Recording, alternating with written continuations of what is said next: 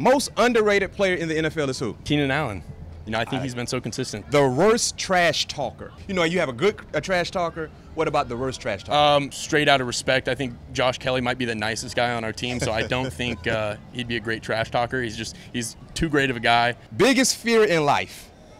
Um, jeez, these some heavy hitting questions. I have this dream, reoccurring dream, that I lose my teeth. So I think that's Yeah, that's That's- yeah. that was always kind of a scary one. So if fronts. that, I mean, if that counts, That counts. Weirdest thing about you that few people know. dude, I, I don't know. What Do Okay. you, what do you got? What's I put ketchup almost on everything. okay? Like chicken, rose. I don't think that's that weird though. A lot of people say it's weird. Okay. Rice, cabbage, Okay, then now you're string beans, corn. Yeah. Okay, I guess I put hot sauce on everything pretty much. Everything? A lot of things. I hate hot sauce. You love spice? Yeah, so that's perfect. That I, I guess that makes me weird. So Okay.